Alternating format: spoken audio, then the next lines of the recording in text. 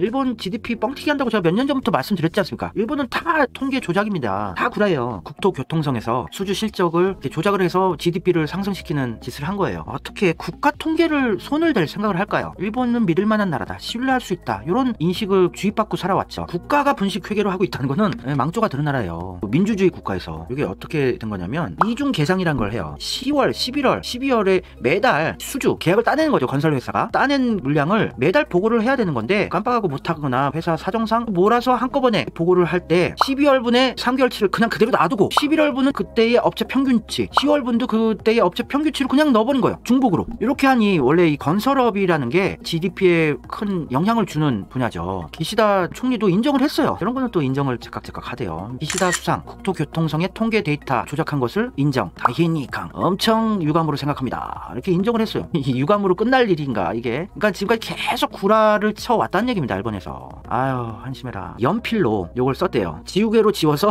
바꿔 쓴대요. 이 옛날 노래가 기억이 나네요. 꿈으로 가득 찬 설레이는 이 가슴에 조작을 하려면은 연필로 쓰세요. 쓰다가 쓰다가 쓰다가 틀리면 지우개로 깨끗이 지워야 하니까. 동경대에 나온 하, 엘리트들이 지우개로 아직도 바꿔 쓰고 있습니다. 이중 계상해서 GDP 올리기에 철야 작업하면서 일본 볼펜 중에 우리나라에도 많이 팔잖아요. 뒤쪽 부분으로 지우면 볼펜이 지워지는 잉크 볼펜 있죠. 일본에서 개발된 이유가 아 조작을 편하게 하기 위해서 지우개가 달린 볼펜이 있었구나. 이런 수준의 나라 GDP도 계속해서 마이너스 성장이에요. 얘네들 다 구라했던 겁니다. 아베 정권에서 아베노믹스가 역시 효과가 있다. 대단하다. 취업률이 막 올라가고 임금이 올라가고 다 좋아. 국민들 바보로 만들어 서 눈탱이 쳐가지고 헌법 개정하려고 전쟁이 가능한 나라로 만들려고 했던 게 아베 정권의 수법이었는데 제가 몇 년 전부터 계속 지적을 했었죠. 아베 정권 때 조작을 많이 했었다고. 그게 2019년 기사입니다. 아베노믹스에서 통계 조작을 계속 했었어요. 실질 임금 상승률이 실제로는 마이너스 0.53%였는데 마이너스 0.05%라고 10배 이상 조작을 했던 거죠. 임금이 올랐다고 구라를 쳤어요. 근데 일본이 삶이 나아지지 않았어요. 아베 정권 들어서고 나서. 일본 서민들의 삶은 더 비참하고 구질구질해졌습니다. 아베노 마스크 결국 폐기. 어 예.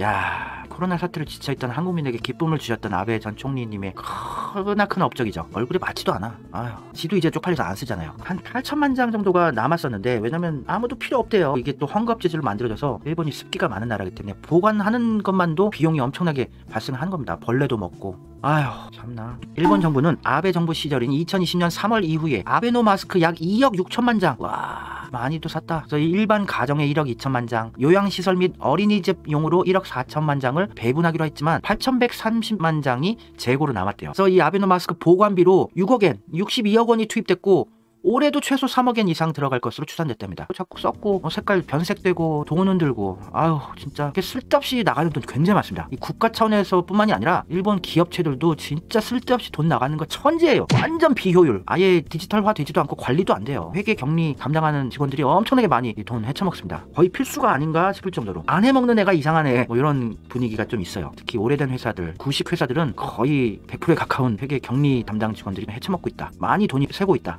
폐기 처분하는데도 또 돈 들걸요? 유류비, 기름이랑 뿌려서 태워야 되니까 어, 이것도 돈 또 든다고 관련 업체들이 꿀 빨겠네.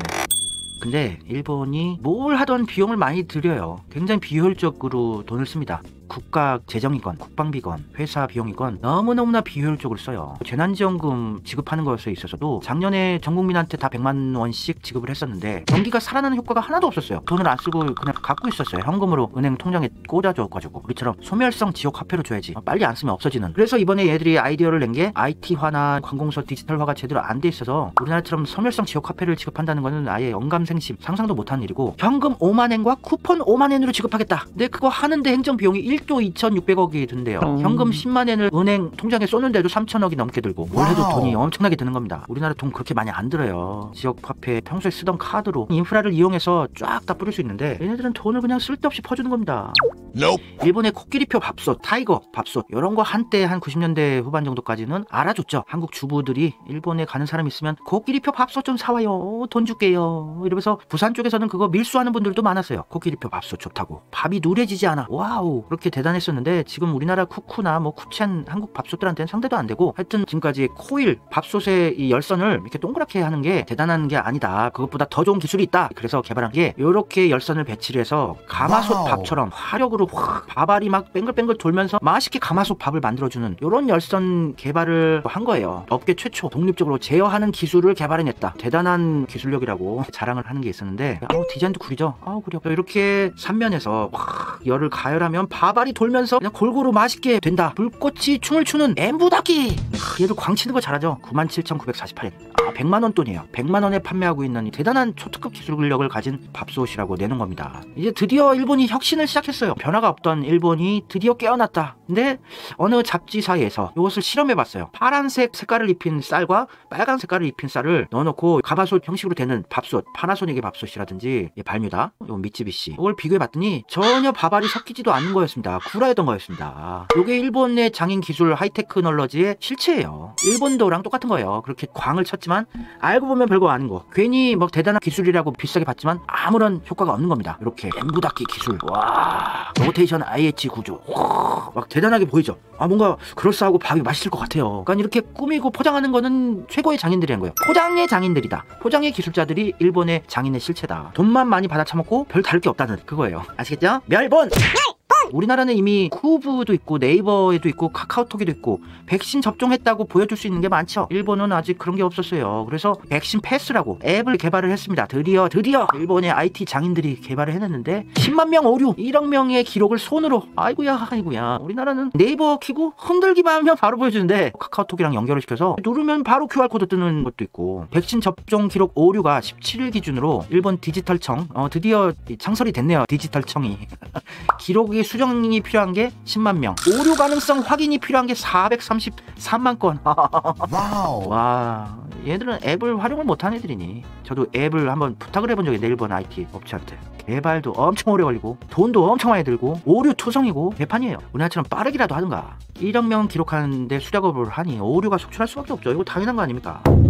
언제 망하냐 언제 망하냐 하는데 지금처럼 가면 서서히 몰락을 하는 건데 갑자기 모라토리엄 선언을 하고 폭망을 하는 확률은 낮죠. 아직 준 기축통화고 미국 형님이 지켜주고 있기 때문에 서서히 계속해서 망조에 드는 건데 일본이 변화에 가장 취약한 애들이라고 말씀드렸죠. 뭐든지 변화의 모멘텀이 있을 때 망조에 들었거든요. 플라자 합의를 통해서 미국이 더 이상 일본을 그 꼬봉 국가로 생각 안 하고 경쟁자로 생각하면서 견제를 하고 좀 밟아준다고 엔화의 가치를 굉장히 올려줬죠. 그러는 바람에 일본 경제는 계속 계속 하락하기 시작합니다. 지금까지도 반등을 이뤄내지 못했어요. 그리고 삼성, 금성 그 시기에는 일본의 가전 산업 도저히 넘을 수 없는 산이었어요. 근데 일본을 역전할 수 있는 모멘텀이 되었던 게 텔레비전 산업의 디지털화, LCD TV화 그때가 되면서 일본을 뛰어넘을 수 있었어요. 아날로그 TV 시절엔 힘들었지만 일본을 지탱하는 가장 큰 산업이 자동차 산업입니다. 토요타, 혼다, 닛산, 마츠다, 미츠비시, 스바루, 스즈키 얘네들이 일본을 아직까지도 겨우 받치고 있는 건데 전기차 시대, 자율주행차 시대가 개화하기 직전입니다. 대폭발이 일어나기 직전이에요. 몇 년 안에 승부가 크게 날 거예요. 현대 기아차는 오래전부터 칼을 갈아왔어요. 기술적인 면, 디자인 면, 모든 면에서 일본은 아몰랑하고 있다가 이제서야 전기차 데뷔를 하겠다고 선언을 했는데 이미 늦었습니다. 이미 늦었어요. 전기차 산업의 도래로 인해서 전자 산업이 삼성, LG한테 대역전을 당한 것과 같이 현대 기아한테 토요타가 대역전을 당하고 똑같은 패턴으로 망하게 될 것이라고 저는 느껴져요. 전기차 산업이 2025년이면 완전히 개화를 하는데 상당히 큰 폭으로 서서히 망하는 게 아니라 2025년을 기점으로 크게 망하게 될 거라고 보여져요. 왜냐면 자동차 산업이란 게 자동차 회사 하나만 있는 게 아니라 그 밑에 협력업체들 2차 벤더, 3차 벤더, 4차 벤더